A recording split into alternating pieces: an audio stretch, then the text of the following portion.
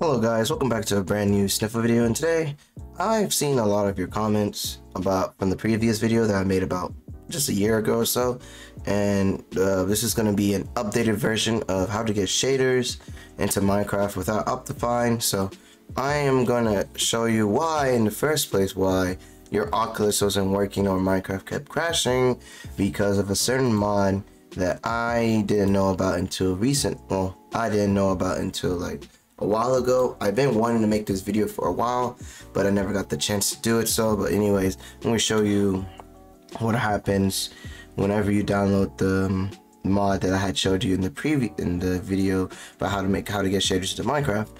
So I'm to show you guys why it crashes because of a certain mod. So you do Oculus and well install that, and then you also install in not Nvidia, Rudium. Now, Rudium does not work anymore. It don't use in in Rudium anymore because it will crash. Your game will crash because it does not work anymore. I'll show you what would happen. So I'm gonna bring Minecraft to this screen real quick. It's gonna crash. So it's gonna crash for me. So just I'm gonna show you. And just like that, uh, Minecraft just crashed for me basically this will happen if you tried using um using rudium. So don't use rudium anymore. Instead use a different mod which i probably just just showed you anyway because i always use this now. I started using this now but here's a few reasons why uh, you shouldn't probably use the forge mod loader because these two only this mod only goes up to 1.20.1. It does not go to the new versions of Minecraft.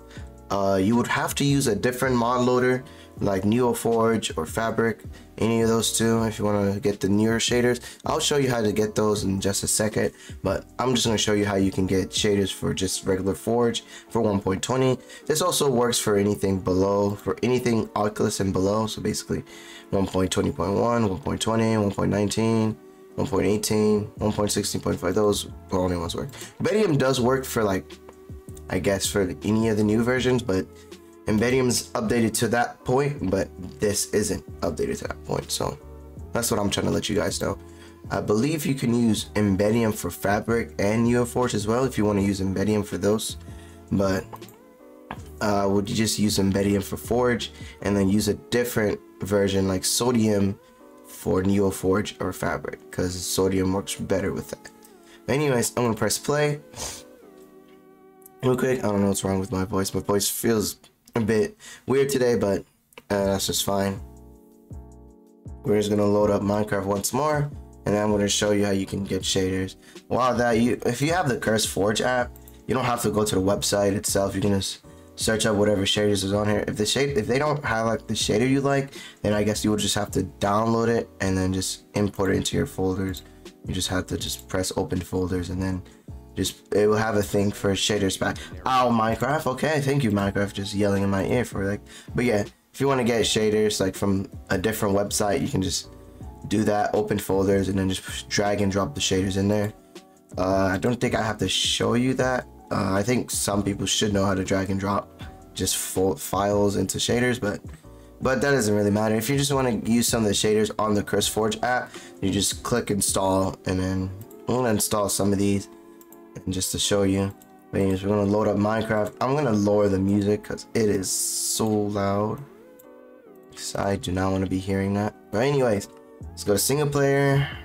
Just do just create a world real quick. I cannot spell today. Okay and just create a new world and just wait for it to load.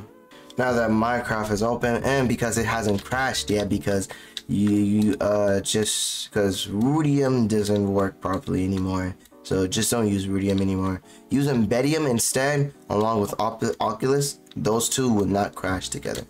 But like I said earlier, it only works for 1.20.1. There is no new updates for these and uh, you would have to probably use a different forge loader if you want to I guess still play Minecraft on the same on a newer version and just to use shaders as well but anyways I'm going to show you how you can do it you just go to options video settings Embeddium's right here, so you can change some stuff to mostly for performance quality. So it's a quality of life mod as well. And well, Oculus Switch, you're able to put shaders in. So I am gonna put in Complementary Imagine because Complementary Imagine really looks nice. And right now it should have been applied and here we go. See, the sun's right there. Nice, nice environment. And this is how you would get, you know, shaders into Minecraft. Let me full screen my game real quick.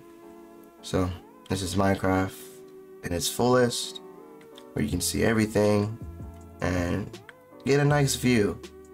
Basically, this is how you get shaders for just Forge. And if you only want to use Forge and older versions of Minecraft, I would suggest using Embeddium for that and Oculus since most people like 1.20.1 because I, I like it. Well, I like it. And older versions of Minecraft as well. But anyways, we're going to show you how you can get the shaders for other versions, other mod loaders, and for the new version of Minecraft. So, we're gonna basically it works for a Fabric, Neoforge, or Quilt, uh, Sodium, and Iris shaders. Iris shaders is the one we're about to use. We're gonna use go up to 1.21.1. I don't know. I like point ones. Point ones are just pretty cool to me, but because 1.20.1 and uh, you can do 1.21. Well, it doesn't matter what version. It works for all versions. But anyways, we're gonna do test, and we're gonna be on Fabric. So how you know it's on Fabric because the whenever it loads in, Fabric API is there. So without that Fabric version, Fabric won't work. So you would need the Fabric API, but it will auto install anyways. But anyways, we're gonna look at Iris shaders because this is the thing we need. Gonna install that. And you know how it works because Iris shaders now works for not only Fabric, but Quilt and Neoforge and such. And it also works for the new versions of Minecraft. It's really updated and it's really good. So uh, we're also going to install Sodium. We could get Embeddium, but I believe Sodium is like the best. Is like the best.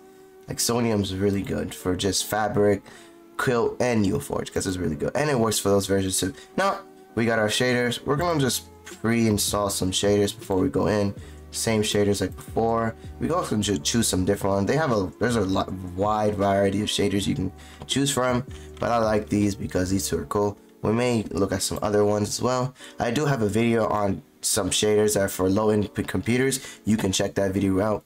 Um, but anyways we're gonna press play real quick and load into minecraft. I'll see you when it finally loads in. This minecraft takes a minute. Also, Minecraft for this version loads a lot faster. Maybe because, you know, it's Fabric and it's also a new version of Minecraft. I haven't, like, tested that theory yet, if Fabric works really well with these mods or so. Because it loaded really quickly. Maybe because I don't have a lot of mods in, so... But that doesn't really matter. We're to create a new world real quick and I'm going to show you how it's, it's basically the same process that loaded really quickly. It's the same process with uh, uh, the Forge loader and same Fabric. Basically, you go to options, video settings. The, the UI is going to be a little bit different. Shader packs will be right here instead of like on the bottom, but you can still the same things as well. You can change your general quality, increase your render distance, how your game looks, and such a stuff. I'm not going to go into it, but anyways, and also basically almost the same thing as Oculus, but I believe this is a bit much better than Oculus because Iris shaders is updated to the new version and it doesn't like lag does it like a quick lag it's actually pretty fast so anyways we're gonna go back to the game and look at that. We got some nice high quality shaders. I do not know which one I clicked on. I clicked on BSL BSL is pretty good. Pretty good shaders. Like I said, I do have some sh uh, shaders for low end low end PCs. I may do a video on some like top 10 shaders you can use if you want to see something like that. I'll make a video on that but anyways hope you guys enjoyed today's video. Hopefully this guy this helps with anything glitches wise crashes. And make sure to not use uh, rudium use embeddium for forge and fabric. You can use iris shaders and sodium. And well forge version you use oculus and embeddium and fabric neoforge or quilt. You can use uh, sodium and iris shaders. Those will work for but I'll have everything linked in the description so it'll be easier for you guys to look at. And if you get confused on which what goes which, I'll have that down. And if there's still any additional help, I'll look at I'll uh, answer you guys comments this time instead of just looking at them like, man, I don't know what to do. But that doesn't matter. But anyways, I'll answer you guys comments and hopefully you guys uh, enjoyed today's video. Make sure to like and subscribe. And I will see you guys in the next one. Sniffle out.